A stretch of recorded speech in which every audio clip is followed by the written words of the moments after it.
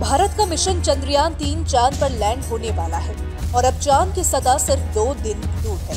इसरो के चंद्रयान तीन मिशन के सॉफ्ट लैंडिंग में अब 48 घंटे का वक्त बचा है। भारत ही नहीं, बल्कि पूरी दुनिया की निगाहें इस मिशन पर टिकी है। तेईस अगस्त की शाम छह बजे होने वाली सॉफ्ट लैंडिंग से पहले चंद्रयान तीन का स्वागत किया गया है। और ये स्वागत किसी और ने नहीं, बल्कि 2019 में चाँद के लिए उड़ान भरने वाले चंद्रयान तीन के भाई, चंद्रयान दो ने किया है। जी हाँ। चंद्रयान दो के ऑर्बिटर ने चाँद की कक्षा में चंद्रयान तीन का स्वागत किया और दोनों के बीच संपर्क भी हुआ। सोमवार को चंद्रयान तीन द्वारा इसके बारे में ट्वीट कर जानकारी दी गई इसमें बताया गया है कि चंद्रयान दो के ऑर्बिटर ने चंद्रयान तीन के लैंडर मॉड्यूल का स्वागत किया। दोनों के बीच द्विपक्षीय संपर्क स्थापित किया गया। एमओएक्स के पास अब लैंडर मॉड्यूल तक पहुँचने के लिए कई रूट हैं। लैंडिंग का लाइव इवेंट शाम पाँच बजकर बीस मिनट पर शुरू हो जाएगा।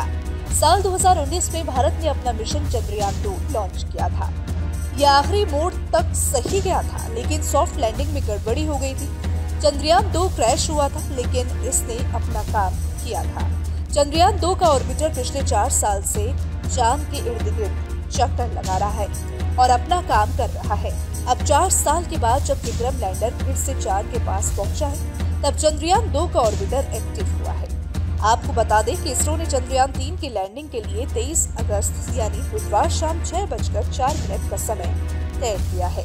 अगर सब कुछ सही हुआ तो इस वक्त पर विक्रम लैंडर चाँद की सतह पर लैंड हो जाएगा और प्रज्ञान रोवर बाहर आएगा।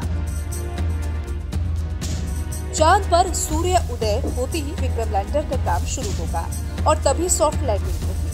इसके बाद पृथ्वी के हिसाब से 14 दिन तक प्रज्ञान रोवर अपना काम करेगा और चाँद पर रिसर्च करेगा। प्रज्ञान रोवर इस दौरान विक्रम लैंडर के इर्द गिर्द ही होगा। वहाँ से दोनों की गतिविधि कैमरे में कैद होगी। विक्रम लैंडर प्रज्ञान पर नज़र रखेगा, जबकि प्रज्ञान रोवर चाँद की सतह पर रिसर्च करेगा। Bureau report, team, news nation.